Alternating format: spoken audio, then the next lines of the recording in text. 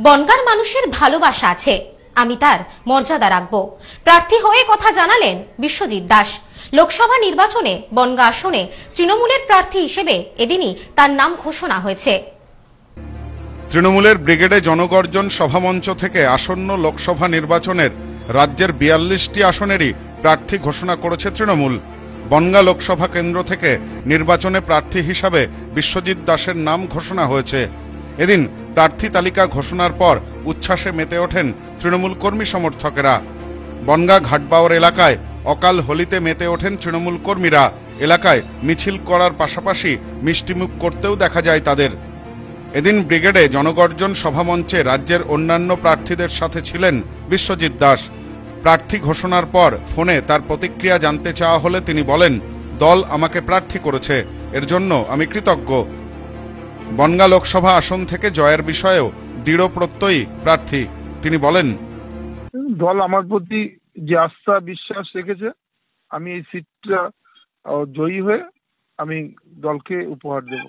নিশ্চিতভাবে আমার প্রতি যে আস্থা, বিশ্বাস রয়েছে, তার মর্যাদা আমি রাখব। এবং বনগার মানুষের অনেক ভালোবাসা আমার উপরে রয়েছেন। আমি দীর্ঘদিন আছি, তাদের অকৃত্রিম ভালোবাসা আমাকে এই সিট জয়ী করে দেবে। নিশ্চিতভাবেই বনগাঁতে যে উন্নয়ন যে পরিমাণে পশ্চিমবঙ্গের মাননীয় মুখ্যমন্ত্রী করেছেন, আর আবার যতটুকু বাকি আছে, নিশ্চিতভাবে সব কাজটুকুই পরিপূর্ণভাবে, যে পানীয় জলটা এখনও যাতে বাড়ি বাড়ি পৌঁছে দেওয়ার কাজ শুরু হয়ে যায় দ্রুততার সেই কাজ শুরু হয় এবং মানুষ বিশুদ্ধ পানীয় জল পান, তার ব্যবস্থা প্রথমেই করব, নিশ্চিতভাবে। পাঁচ বছর আগে যিনি জয়ী হয়েছিলেন, তার জনসংযোগ বলে বিন্দুমাত্র নেই। তিনি ঘর থেকে বেরোননি। আমফান করোনায় মানুষের পাশে কখনো গিয়ে দাঁড়াননি। বছরে পাঁচ কোটি টাকা ডেভেলপমেন্টের টাকা কোথায় রেখেছেন? সে কথা মানুষ গ্রামে গেলে জানতে চাইবেন। কোনো রকম দৃষ্টান্ত নেই যে সেটা কাজ করেছেন। আর অপরদিকে আমি আমার বিধায়ক উন্নয়ন তহবিল থেকে আমি মানুষের কাছে দৃষ্টান্ত রাখতে পেরেছি। ইলেকট্রিক চুল্লির পঞ্চাশ লক্ষ টাকা দিয়ে সেই কাজ শুরু হয়েছে। ফায়ার ব্রিগেডের জন্য জমি চিহ্নিত হয়ে গেছে।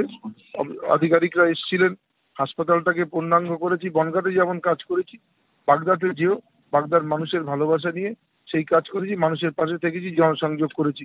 ভোটের জন্য মানুষ প্রস্তুত রয়েছেন যে এই লোকসভা নির্বাচনে উপযুক্ত জবাব দেবেন, প্রতিবাদের ভোট, প্রতিশোধের ভোট হবে।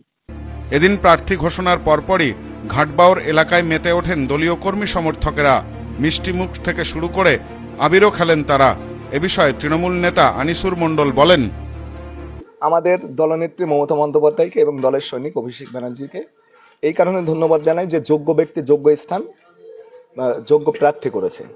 আমাদের তিনবারের বিধায়ক মাননীয় শ্রী বিশ্বজিৎ দাস মহাশয়কে বনগা লোকসভা কেন্দ্রে লড়ার মতো সুযোগ করে দিয়েছে। এবং আমরা এতটাই আত্মবিশ্বাসী যে উনি এখান থেকে যখন লড়বেন, বনগাবাসীর সঙ্গে তার একটা নিবিড় সম্পর্ক। শুধুমাত্র বনগাবাসী না উনি আপনারা ইতিপূর্বে জানেন যে বনগা লোকসভা বনগা সাংগঠনিক জেলার সভাপতি। অর্থাৎ ওনার সঙ্গে যে প্রতিনিয়ত মানুষের সঙ্গে যে নিবিড় সম্পর্ক, এই নিবিড় সম্পর্ক এবং মানুষের সঙ্গে দুঃখ সুখে, দুঃখে সবসময় উনি পাশে থাকেন। এই জন্য আমরা আনন্দিত যে এতটা একটা ভালো মুখ যে বনগাই, বনগা লোকসভা কেন্দ্রে তাকে প্রার্থী করেছে, তার জন্য আমরা ধন্যবাদ জ্ঞাপন আগেও করেছি, এখনও করছি। এবং আমাদের এটা শুধু আমাদের জায়গাটা এটা প্রত্যেকটা মানুষের প্রত্যেকটা কেন্দ্রে প্রত্যেকটা বুথে বুথে চলছে।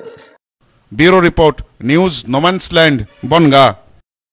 New PC jewellers সম্পর্ক গড়ে দেয়। বনগাঁতে আমাদের তিনটি শোরুম প্রতিদিনই খোলা। নেউপিসি জুয়েলার্স বনগা বাটার মোড়। নিউ পিসি জুয়েলার্স ব্রাঞ্চ কুমদিন স্কুলের বিপরীতে। New PC jewellers beauty Motiganj Hatkhola.